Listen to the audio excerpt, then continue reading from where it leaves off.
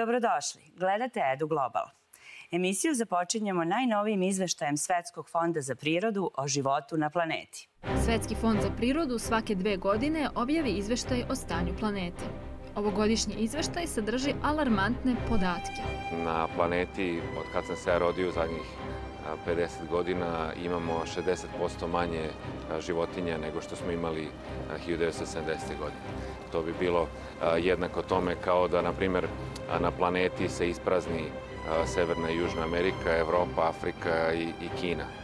A, tako da a, ti podaci ukazuju na to da smo mi kao ljudi, a, da kažem po znacima navoda, pobedili, da smo da u potpunosti dominiramo planetom, da ono što gledamo na Animal Planetu i na National Geographicu u Zoškom vrtu je samo 5% onoga što je ostalo na planeti i nadamo se da će ovaj izveštaj, iako su podaci potpuno alarmantni, ali proizvesti jednu pozitivnu reakciju u smislu da se ljudi zaista zainteresuju za ono što se dešava na planeti i, i počne da se malo više uključuju u odluke o tome kako i na koji način koristimo ono što nam je ostalo. Stanje je ozbiljno, ali biodiverzitet se u različitim područjima gubi različitom brzinom. Kakvo je stanje u Srbiji? Da li gubimo biodiverzitet istom brzinom kao ostatak sveta? I koje životinske vrste su kod nas najugroženije? U ovom delu sveta u kojem mi pripadamo, tu je pad e, populacije od prilike 30%. Znači, mi smo, ako je globalno 60, mi smo ovako u našem delu Evropa i taj deo Rusije, Palearktik gde pripadamo, mi smo na 30%. Tu su naravno one vrste o kojima stalno pričamo, to su krupne zveri, medved, ris, pa i vuk. Uh, veliki broj ptica je praktično na, na, na rubu opstanka, orlovi krstaši, znamo da da li imamo jedan ili dva para ili više i nemamo ni to. Ehm, ptice vodenih staništa, ehm, riblja, ihtiofauna, ribe su pod velikim pritiskom korišćenja. U Srbiji mi imamo negde oko 7% teritorije je pod nekom, nekim vidom zaštite, što i odnosno gledajući neki globalni prosek nije nešto, nije nešto s čime možemo da se hvalimo, potrebno je da povećamo ta, ta, odnosno i broj i površinu područja koje su namenjene zaštiti prirode. I tu imamo velikih problema što zbog izgradnje različite infrastrukture, industrijskih objekata, razvoja turizma, turističke infrastrukture, hidroenergetskih objekata, to su To su sve pritisci koji postoje danas u, u velikom broju zaštićenih područja i u nekima čak ne možemo reći da su ona područja gde je prioritet zaštite prirode, nego nešto drugo. Izveštaj o stanju planete sadrže i strateški plan, kojim bi sadašnja tendencija gubitka biodiverziteta trebalo da se uspori. Nije stvar ovo samo, samo da ga tako nazovemo sektor zaštite prirode, biologa, ekologa, zaštite prirode je nešto što ulazi u sve sektore.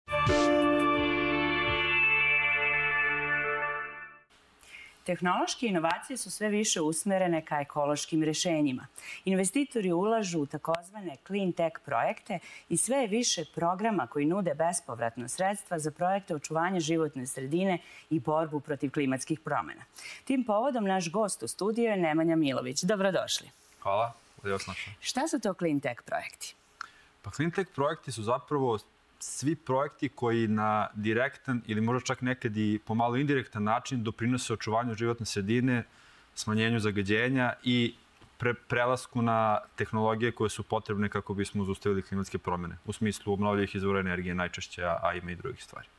A koje mogućnosti nude programi podrške Cleantech preduzetnicima? Programi podrške na kojima mi radimo zapravo mi radimo u saradnji sa Evropskim institutom za inovacije i tehnologiju i njihova dva ogranka koji se zovu Climate Kick i Inno Energy. E, u okviru Climate Kicka, koji se, kao što mu ime kaže, fokusira na klimatske e, promene, radimo program koji se zove Akcelerator, koji zapravo pruža i novčanu podršku i mentorsku podršku cleantech preduzetnicima. E, program traje šest meseci i oni u, to, u tom periodu imaju jedan na jedan sastanke sa mentorima koji njima pomažu da razviju biznis. Sa druge strane, e, sa Inno Energy sarađujemo na programima koji se zovu Primer i Power Up takmičenje. Primer je nešto što dolazi zapravo pre ovog akceleratora. To je mesec dana intenzivne biznis obuke za startupe koji još uvijek nisu stigli do toga, oni su u ranoj fazi, još uvijek ne mogu baš da uđu u akcelerator. A Power Up takmičenje je takmičenje koje se održava u celoj istočnoj i centralnoj Evropi, bavi se e, pitanjima energije i timovi koji su u Srbiji prijavljeni to mogu doći do velikog finala koje se dešava u inostranstvu. Ali ono što mislim da je važno i što ja uvek volim da kažem kada, kada pričamo na ovu temu, je da sada u Srbiji konačno imamo priliku da od začetka ideje pa do njenog kasnijeg razvitka u, u, zrelu, u zreli biznis i zrelu kompaniju koja može čak dobiti neke investicije, imamo sve programe koje mogu pokriti, da kažem, pitanja. Znači, od rane ideje gde postoji nešto što se zove Climate Launchpad, na čemu ne radimo mi u Startitu, ali je takođe deo Climate Kika, pa sve do na kraju Highway i Boostway programa koji su zapravo investicioni programi Inno Energy-a. Postoji ovako tačke koje možete da, da ispunite i da imate svoj put od znači, ideje pa do zrelog biznisa. Dakle, kako započeti uspešan zeleni start-up u Srbiji? Pa, kako započeti uspešan zeleni startup je vrlo sličan odgovor kako i započeti bilo kakav startup. E, prvo morate da budete hrabri, morate da imate dobru ideju i morate da budete jako posvećeni. Jer e, i na događaju koji smo e, organizovali u Domu omladine u okviru Green Festa, naši prijatelji iz, iz Vuboxa i Solagra su baš govorili o tome kako je taj put nikada nije lak, kako je mnogo ljudi započelo sa njima to putovanje, ali su mnogi među vremenu odustajali zato što nisu imali stalan posao. Ali na kraju, kada se sve to izgura i kada uspete da svoj naum ostvarite, nagrada je mnogo veća zato što radite i nešto što je dobro za vas, razvijate biznis sam sa svoj gazda, preduzetnik ste, a u isto vreme pomažete i zaštitu životne sredine i radite nešto za, za opšte dobro. Nadamo se da će informacije koje ste nam dali podstaći i ohrabriti preduzetnike da započnu svoj ekološki biznis. Hvala vam na gostovanje. Hvala vam na pozivu.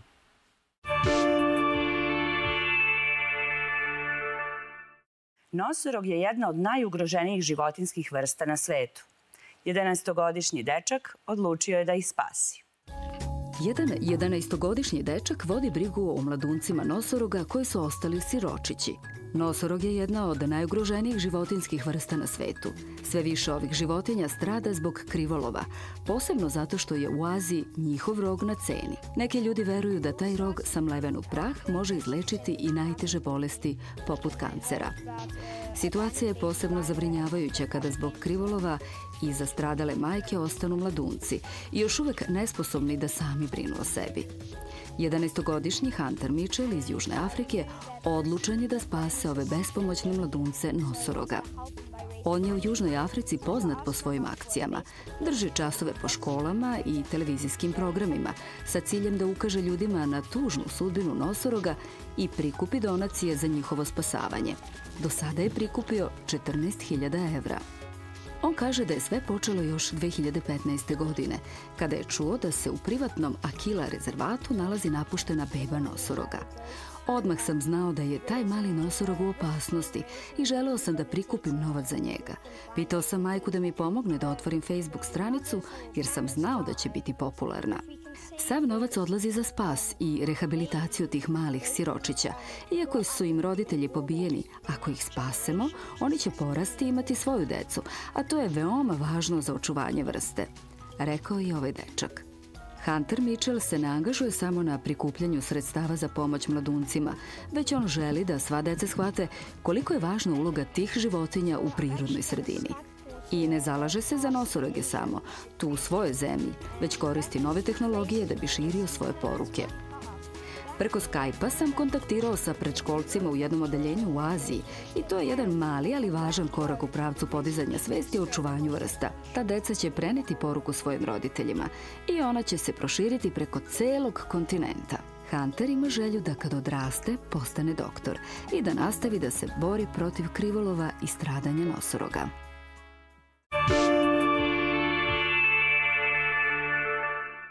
Pistaći su čest sastojak u mnogim tradicionalnim turskim jelima, a uz malo mašte ljuska pistaća postaje umetničko delo. Pistaći iz Gaziantepa su najpopularnije koštunjavo voće u Turskoj. One su glavni sastojak mnogih omiljenih jela, naročito baklava i drugih poslastica. Pistaći su vrlo korisni za ljudsko zdravlje. Bogati su proteinima, smiruju kašalj, opuštaju pluća, a takođe utiču i na snižavanje nivoa šećera u krvi. Nilaj Gundus pretvara ljuske pistaća u umetnički materijal od kojeg je napravila preko 150 proizvoda, kao što su cipele, tašne, ženska odeća i razni kućni detalji. Na taj način je sprečena razgradnja ovih ljuski u prirodi. Nilaj Gunduz želi da skrene pažnju na značaj ekološke svesti i da nađe korisnu namenu za ljuske pistaća. Ona kaže da su pistaći u Gaziantepu vredni kao zlato. Njihove ljuske mi vidimo kao bisere – kaže Milaj. I svaki deo drveta pistaća je važan i vredan. Mi uzimamo ove ljuske iz sobstvenih prinosa i pretvaramo ih u umetnost. Naš je cilj da pokažemo da možemo ponovo nešto proizvesti iz onoga što konzumiramo, umesto da budemo samo obični potrošači.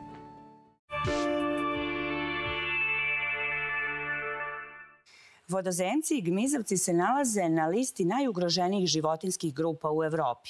Kao rezultat sveobuhvatnog istraživanja područja manastira Hilandara objavljena je monografija Vodozemci i gmizavci Svete Gore i Hilandara. Život monaha na Svetoj Gori skriven je od očiju javnosti, a još manje se zna o biodiverzitetu tog mesta. Nakon četvorogodišnjeg istraživanja Zavoda za zaštitu prirode Srbije, dobili smo priliku da zavirimo u svet gmizavaca i vodozemaca poluostrva Atos. Na samom poluostrvu e, jeste čovjek prisutan već skoro jedan milenijum i pre toga, znači baš da se radi o naseljima, prađenju naselja manastira. Znači, pošto je to u, u, u nekom smislu monaška država. E, međutim, e, ako to gledamo s aspekta zaštite prirode ili s aspekta biologije ili s aspekta tih životinja, te životinje i ti ekosistemi nisu nešto preterano uznemiravani. Zato što sam taj monaški način života e, u stvari e, e, nije, da kažem, u koliziji sa prirodom i sa tim životinjama. Tako da imamo na većem delu polostrava potpuno netaknute ekosisteme i životinje, pa čak i floru koja apsolutno nije pod pritiskom čoveka. Tako da su, da kažem, i, i veoma interesantne i te same pojave, znači da taj saživot i, i, i monaha i životinja međusobno u svim tim netaknutim praktično ekosistemima.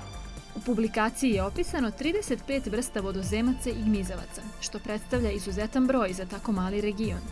Pitamo doktora Ajtića koje vrste su zastupljene. Ušteri, kornjače i zmije su poprilično brojne grupe na polostrovu.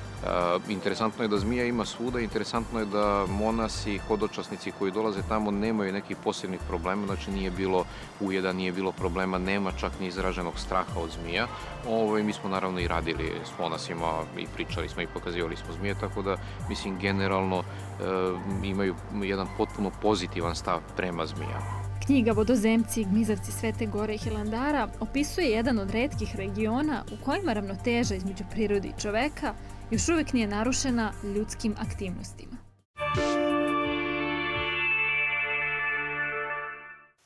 Svake godine hiljade pelikana zastaje u Tel Avivu na svom dugom migratornom putu od severa Evrope do subsaharske Afrike. Svake godine severno od Tel Aviva hiljade pelikana zastaje radi predaha na svom dugom putu od severa Evrope ka Etiopiji, Tanzaniji, Nigeriji i drugim podsaharskim zemljama – U Izraelu pelikani ostaju svega par nedelja. Ptice se zadržavaju u prirodnim rezervatima, gde ih hrane velikim količinama ribe koju svaki dan dopremaju desetine kamiona. Vlasti se uvek pobrinu za njihovu ishranu, jer bi oni inače u potrazi za hranom uništili riblje farme u kojima se riba odgaja u komercijalne svrhe. Migracije pelikana privlače brojne ljubitelje prirode, turiste i učenike – Svi oni u ranu zoru mogu posmatrati let ovih ptica po okolini. Asaf Cohen, čuvar u rezervatu prirode, objasnio je suštinu njegovog posla. Moj posao se sastoji u tome da svedem na minimum moguće konflikte ljudi i pripadnika divljih vrsta. To se prvenstveno odnosi na divlje životinje i interese poljoprivrednika.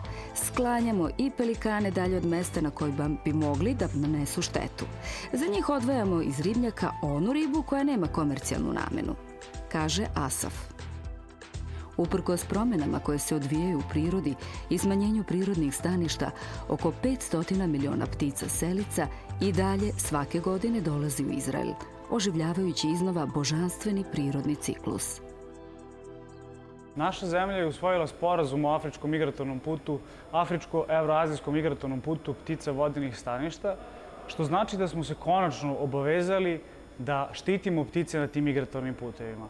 Znači, ptice nisu svojina neke zemlje zasebno, ptice su da kažemo, globalna tekovina ove planete, tako da je jako bitno i drago nam je što naša zemlja prepoznala bitnost e, ovog problema i potpisala ovaj sporazum.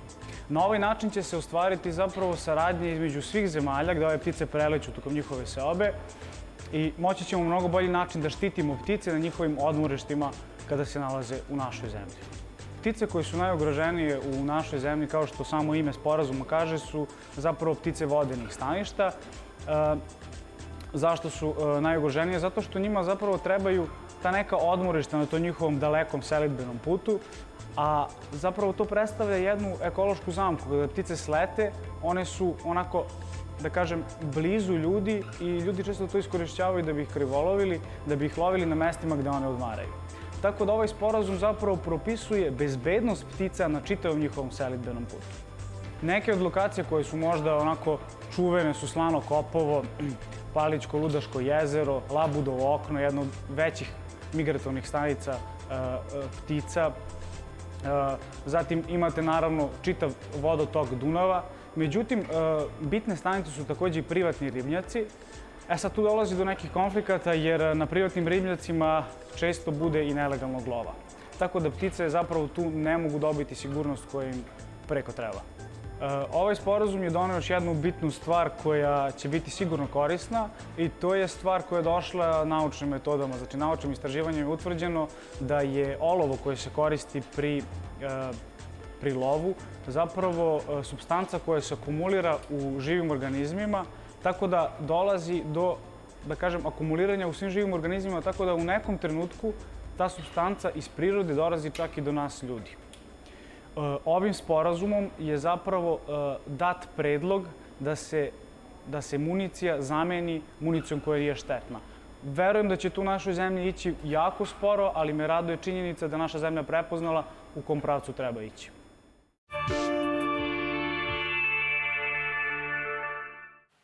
Životinje u potrazi za hranom sve češće prevazilaze urađenu opreznost i prilaze čoveku. Zbog uništenja prirodnog staništa i nedostatka hrane zimi su posebno ugrožene ptice. Kako možemo da im pomognemo? Zima, period hladnog vremena je dobra prilika da neko e, eto, pokaže taj delić svoje ljubavi koju će pokloniti pticama. Jedan od jednostavnijih načina e, jeste to da im ponudimo hranu, ali ne bilo koju hranu. Apelujemo na naše gledalce da pticama ne iznose hleb. Čime ovaj, možemo da hranimo ptice, šta bi bilo preporučljivo? Ukoliko ponudite ra raznovrsne žitarice e, pticama, one će biti srećne. Ali e, postoji jedna žitarica koja, koju ptice obožavaju, a to je suncokret.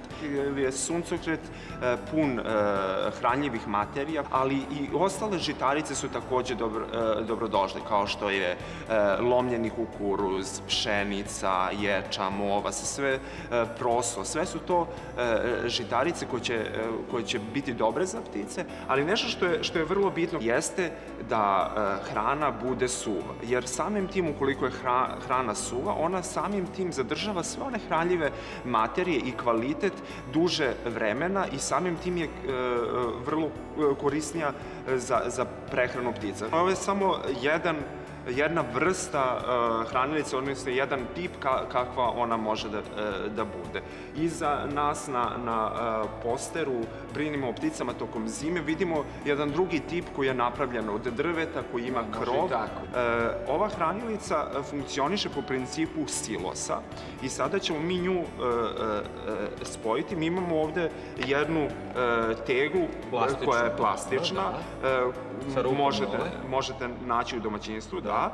Imamo uh, zatvarač, imamo jedan podmetač za saksije. Isto plastičan. Isto plastičan. Imamo uh, jedan šraf i maticu uh, kojim ćemo prečvrstiti ovaj podmetač za saksije za ovu teglu i sada ćemo uh, to i učiniti.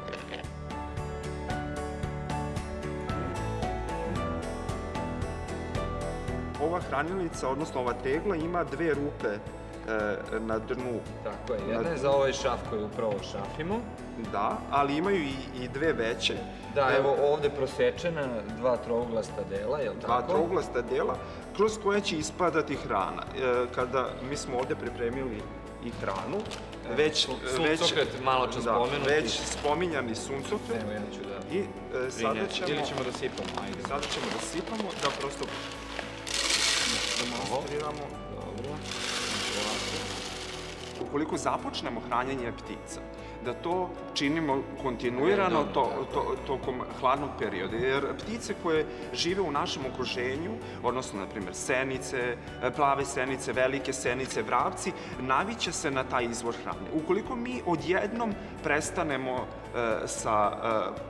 sa hranjenjem, to će vrlo negativno uticati na ptice, jer oni e, posle toga neće moći vrlo lako da se snađu, da, se da snađu neko drugo mesto. Upravo to. Ovde smo na, na zatvaraču, koji ću ja sad skinuti da naši gledalci vide, e, smo e, napravili dve rupe kroz koje ćemo provući žicu. Evo ovu hranilicu možete postaviti recimo ili na svoj prozor, možete okačiti na neko drvo blizu vašeg prozora i možete u toku zime dopunjavati ovu hranilicu i posmatrati e, ptice koje dolaze u vaš komšiluk da se hrane. Redka mandarinska patka prošetala je Njujorskim Central parkom na oduševljenje posmatrača. Oduševljeni posmatrači ptica primetili su redku mandarinsku patku u Njujorskom Central parku. Mandarinska patka potiče iz Istočne Azije, a poznata je po divnom šarenom periju i kljunu jarko roze boje. Pravo je pitanje otkud ova vrsta usred Manhattana – Fotograf Denis je napravio na stotine fotografija. Patka je uočena na tom mestu početkom oktobra meseca i tada je već napravljen prvi video. Od tada se građani Njujorka i turisti skupljaju u jugoistočnom delu parka ne bili gledali ovaj neobičan dar Njujorku. U udruženju posmatrača ptica ima mišljenja da je to domaća patka, čije držanje nije dozvoljeno u Njujorku.